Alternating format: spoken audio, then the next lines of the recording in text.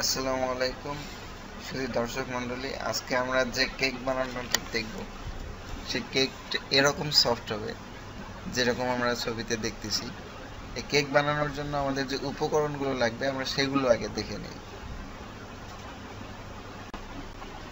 আমাদের চারটে ডিম, চারটা ডিমের সমপরিমাণ চিনি, চারটা ডিমের সমপরিমাণ ময়দা, চারটা ডিমের অর্ধেক পরিমাণ সয়াবিন তেল বেকিং পাউডার এক চা চামচ, কোকো পাউডার দেড় চা চামচ, ভ্যানিলা এসেন্স হাফ চা চামচ। এখন আমরা কীভাবে কেক তৈরি করব সেটা এখন দেখব।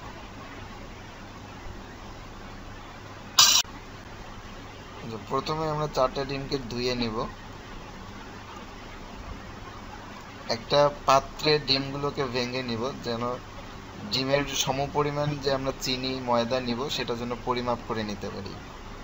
তো এর জন্য একটা মগ আমরা বাছাই করে নিয়েছি। চারটা ডিম ভেঙে আমরা সেই মগের মধ্যে রেখে দেব।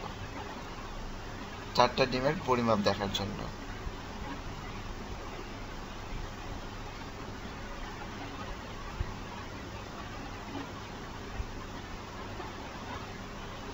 আমরা এভাবেই চারটা ডিমকে ভাঙবো। দুটো ডিম ভাঙা হয়েছে।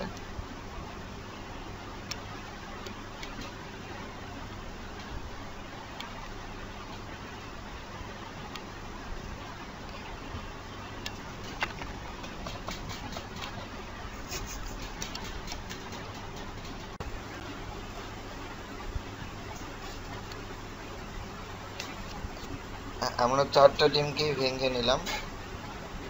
ভেঙে নিয়ে মগে যে পরিমাণ ডিম হয়েছে, ঠিক সেই পরিমাণে যদি আমাদের মনে না থাকে, সেক্ষেত্রে আমরা পরিমাপ করে নিতে পারি।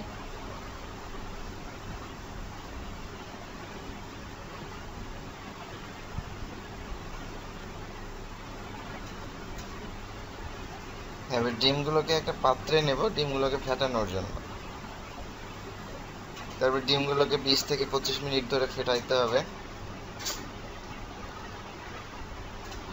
ডিমগুলোকে যত ফেটবো আমরা, ঠিক ততই সফট হবে কেক আর এটা বড় পাত্রে নিয়ে ফেটালে ভালো হবে, পড়বে না। আর এটা আমরা ব্লেন্ডার ছাড়াই করতেছি, যাদের ঘরে ব্লেন্ডার নেই, তাদের সুবিধার জন্যই। যে এটা অনেক সময় দেখা যায় যে ব্লেন্ডারে যদি আমরা এভাবে ব্লেন্ড করি, তাহলে অনেক কম সময়ে হয়ে যাবে।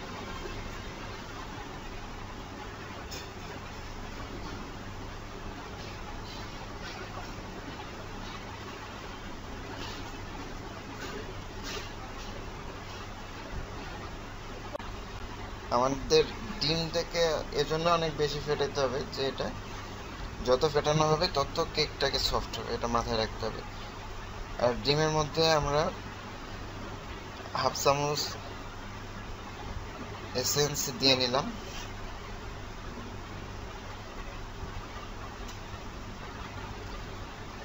ডিমটা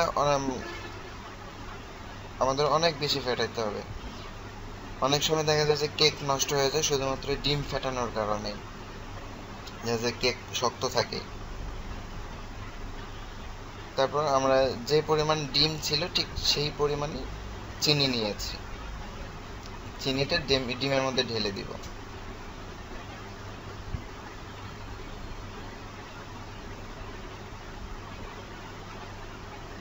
আমাদের অবশ্যই মনে রাখতে হবে, চিনি যেন কমও না হয় আবার খুব বেশি না হয়, যে পরিমাণে আমাদের ডিম নিয়েছি।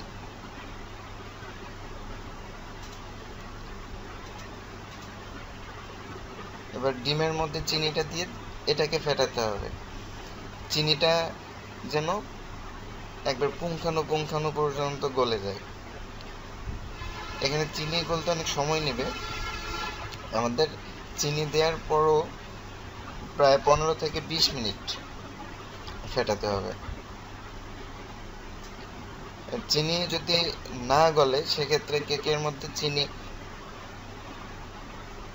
থেকে যাবে। ওটা খেতে অনেক বাজে লাগবে। তো এর জন্য হচ্ছে আমাদেরকে ফেটাতেই হবে।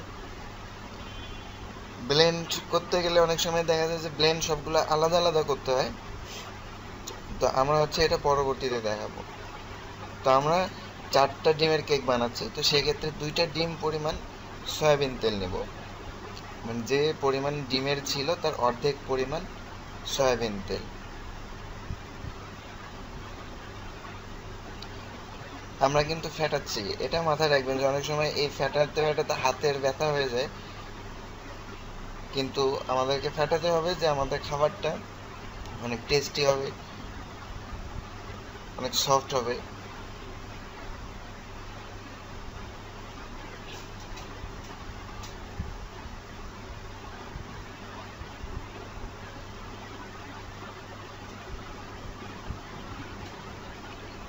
এটা দেখতে হবে যে হচ্ছে যত ফেটবেন। আমি বললাম পনেরো থেকে বিশ মিনিট, আমরা আপনি যদি আরও পাঁচ মিনিট বেশি ফেটান, তাহলে হচ্ছে এটা আরও ভালো হবে। তো আমার যে পরিমাণ ডিম ছিল, ঠিক সেই পরিমাণে ময়দা নিলাম।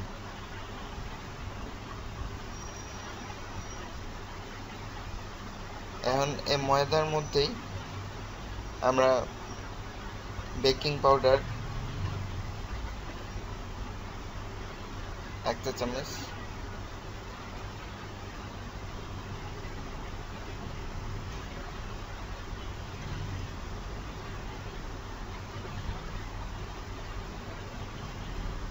কোকো পাউডার নেব দেড় চা চামচ।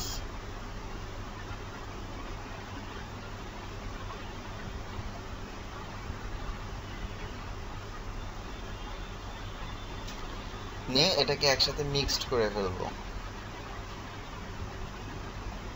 যে ময়দা কোকো পাউডার এবং বেকিং পাউডার এটা এই জন্য মিক্সড করে ফেলব যাতে এটা সম পরিমাণভাবে আমরা একসাথে ডিমের সাথে মিক্সড করতে পারি।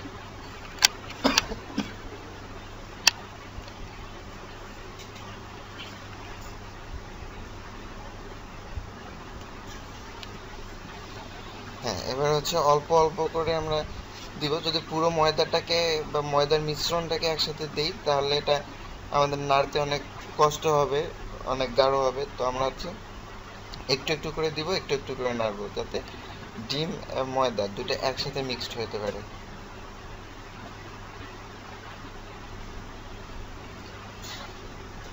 কেক বানানোর জন্য একটু কষ্ট করতে হয়, কিন্তু আপনার এই কষ্টটা যখন খাবেন, এই কষ্টটা আপনার কাছে কোনো কষ্ট মনে হবে না।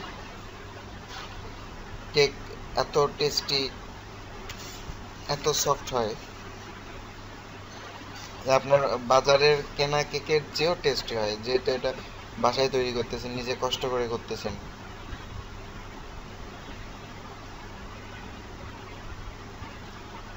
যে, আপনাদের কিন্তু অবশ্যই অবশ্যই আমি আবারও বলতেছি, ফেটতে হবে। যত বেশি ফেটবেন, তত বেশি সফট হবে।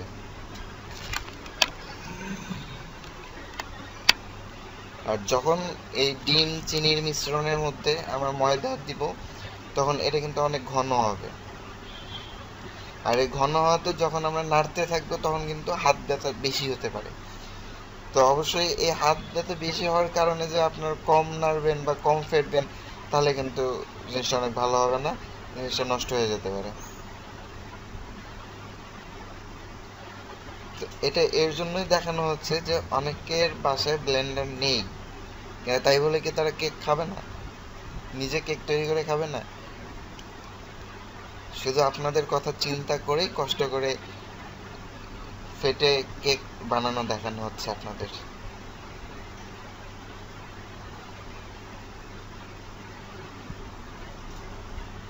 ভিডিওটা দেখে অবশ্যই অবশ্যই আপনারা তৈরি করবেন এবং আমাদেরকে অবশ্যই কমেন্টস করে জানাবেন যে আপনাদের কেক কীরকম হলো। আর আমাদের কেক তো অবশ্যই আপনারা দেখতেছেন। ইনশাল্লাহ ভালো হবে। হ্যাঁ আমরা একটু একটু করে দিচ্ছি। যে পরিমাণ আমাদের ময়দা নেওয়ার ছিল, ময়দা, বেকিং পাউডার এবং কোকো পাউডারের যে মিশ্রণ, এটা একটু একটু করে আমরা ডিমের মধ্যে মিক্সড করতেছি।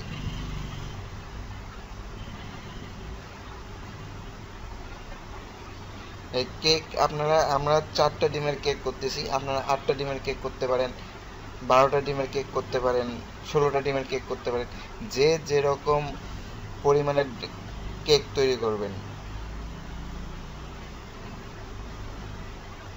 দেখা গেলো যে চারটা ডিমের কেক করে সাত থেকে আটজন লোক অনায়াসেই খাওয়া যাবে। এটা যখন বাড়িতে আত্মীয় আসলো তখন যদি আপনারা নিজে ঘরে তৈরি করা কেক খাওয়ান, তারা অনেক খুশি হবে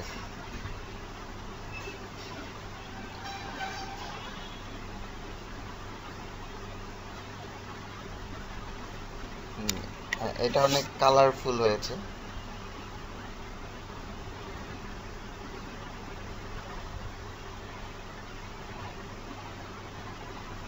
Oh.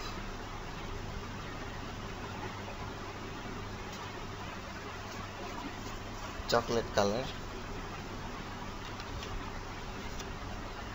হ্যাঁ আমি কিন্তু ফেটেই যাচ্ছি। তো এটা যত ফেটবেন তত কিন্তু সফট হবে। এ ব্যাপারটা কিন্তু আমি আবারও বলতেছি আপনাদের।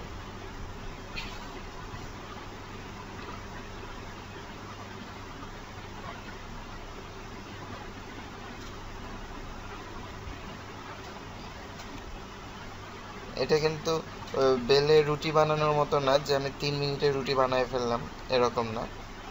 যে কেকটা ফুললি ডিপেন্ড করে আপনার ফ্যাটানোর উপরেই। আমরা ফেটানোর পর এটাকে নন স্টিকের হাঁড়িতে ঢেলে দিব।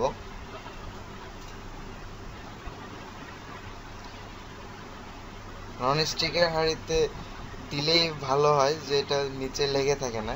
আমরা যদি অনেক সময় দেখা যায় নন স্টিকের হাঁড়ি না থাকে, তো সেক্ষেত্রে আমরা কিন্তু নর্মাল কড়াইতেও করতে পারি।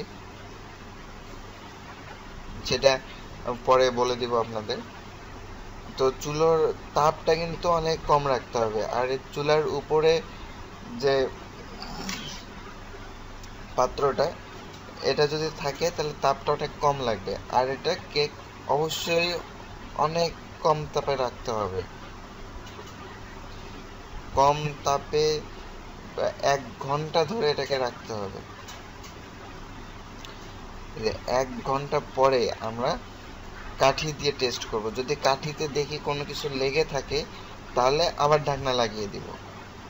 আর যদি দেখি ঢাকনা মানে কাঠি তোলার পরে কাঠিতে কোনো কিছু লেগে না থাকে, তাহলে আমাদের কেক হয়ে গেছে।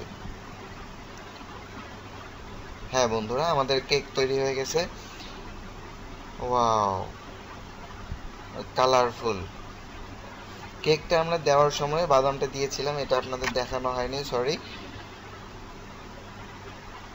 তো এই হয়ে গেল আমাদের কেক